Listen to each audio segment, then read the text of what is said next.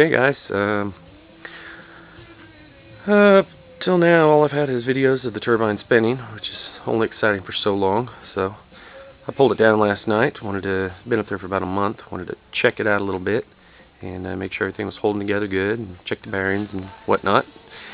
So I thought, well, I'll uh, shoot some close-ups of it, so you can check it out, but uh, it's got the uh, Hornet blades on it, six of them, gonna do nine, get a little better startup because I don't have a ton of wind around here. But when it gusts, boy, it, it moves. Uh, put a bigger hub on it last night, went from the 8th inch to the 3 16th steel hub, a little stronger. Uh, what else? Um, got a uh, put a uh, hub stabilizer back there. Can't really see it, but uh, makes it a little stronger. Takes a little bit of the wobble out. Um, there's this thing I made myself. Um, this here is a uh, two inch pipe. Uh, put it on the uh, lathe and turned it. Put some uh, sunk some bearings down in there with a one inch hole on the inside. Uh, bearing on the bottom. So can't really see it, but it pivots beautifully.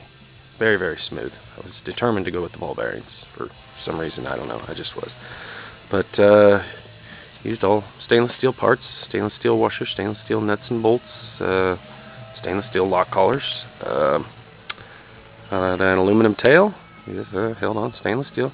Um, it's uh, sorry, aluminum tail shaft and an aluminum tail. Uh, it's a stop sign I butchered and uh, painted it.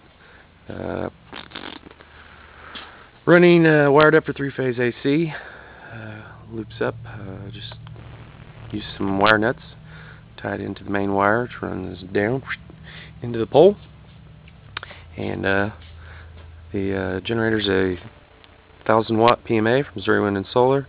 Um, it is a beefy son of a gun. A little bit to make it turn, but it, it's very impressive. Puts out a lot of power. Um, I've seen excess of, I don't know, 120, 130 volts out of it so far. I don't have a meter to check amperage, but just watching the voltage spike when we get gusts, it's it's pretty impressive. It's uh, guys, if you're if you're playing with the Ameteks and the small motors, you really might invest the money to get something like this. Um, it's it's it's good for uh, you make some power out of it. I'll say that. I'm I'm very impressed with it. But uh, there she is. Uh, pardon the mess in the garage.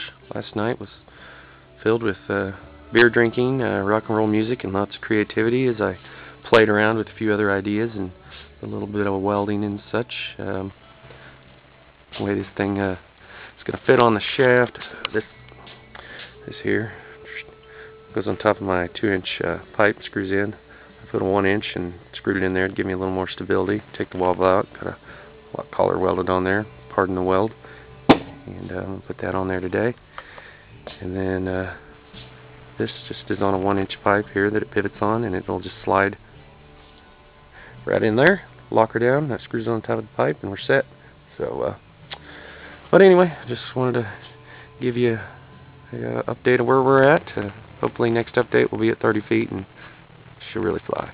So thanks for watching